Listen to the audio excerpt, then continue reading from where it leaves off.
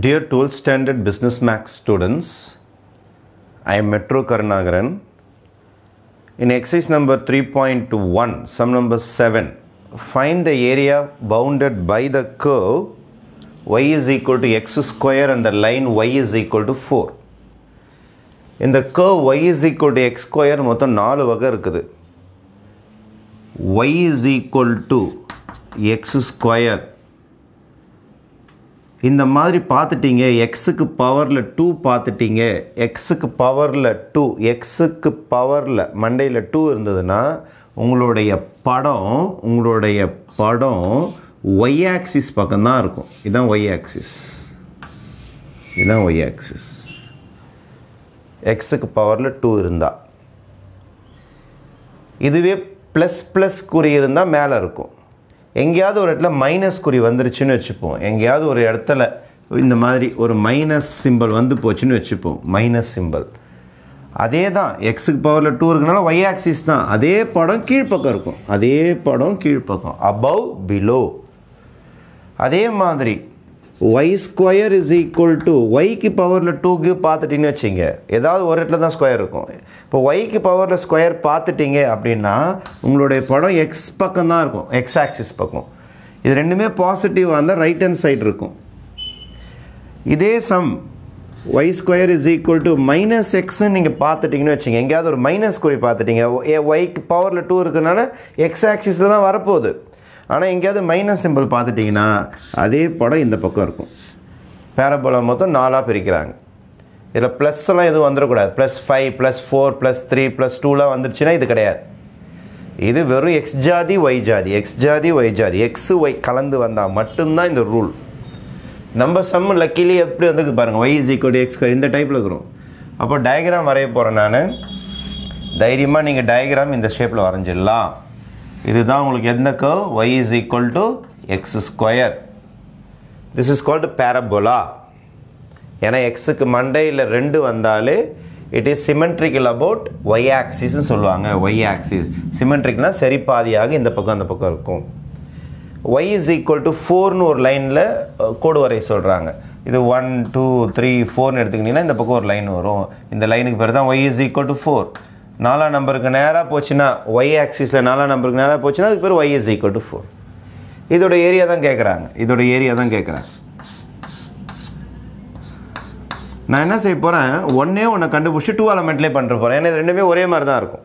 இது ரெண்டும் ஒரே மாதிரி இருக்கிறனால ஒன்றே ஒன்று கண்டுபிடிச்சி டூ எலமெண்ட்லேயே பண்ணுற போகிறேன் இது எனக்கு y is equal to zero ஏன்னா ஆரிஜின் ஆரிஜின்னா ஒய் ஈக்குவல் டு ஜீரோ மேலே y is equal to four அப்போ integration y is equal to zero y equal to four போட்டிங்கன்னா சம் முடிஞ்சு போச்சு. அப்போ required area required area is equal to two எலமெண்ட்லேயே பண்ணோம். ஏன் டூ எலமெண்ட்லேயே பண்ணால் ரெண்டு piece integration y is equal to zero மேலே y is equal to four இங்கே ஒய் வந்தா இங்கே ஒய் வந்தா இங்கே ஒய் வந்தா இங்கே டிஒய் டிஒய் டிஒய் இங்கே ஒய் வந்தால் இங்கே டிஒய் இதுக்கு ஆப்போசிட் ஆப்போசிட் எழுத்து எக்ஸ் இதுதான் இதுக்கு formula to find the area இப்போ two into zero to four எனக்கு எக்ஸ் வேணும். Y is equal to x ஸ்கொயர்னு இருக்குது. அப்போ இங்கேருந்து சிம்பிளிஃபை பண்ணணும் நீங்கள் y is equal to x ஸ்கொயர்னு கொடுத்துருக்குறாங்க. அப்போது ஸ்கொயர் தூக்கி இந்த பக்கம் அடிச்சிங்கன்னா square root of y is equal to x அதுதான் இட்டு வந்து இங்கே எழுதணும். ஏன்னா எனக்கு எக்ஸ் தான் வேணும். எக்ஸ் ஸ்கொயர் வேணும். அப்போ ஸ்கொயர் தூக்கி இந்த பக்கம் அடிக்கிறேன் அப்போ square root of y is equal to x அதை எட்டு வந்து இங்கே எழுத போகிறேன் எக்ஸுக்கு பதில் square root of y dy square root of y dy அப்போ two into integration zero to four y can be written as y power of ஏன்னா இன்டகிரேஷன் பண்ணுறதுக்கு ரொம்ப ஈஸியாக இருக்கும். அதனால் ஆஃப் போட்டுங்க. இன்டகிரேஷன் பண்ணும்போது என்ன செய்யணும்?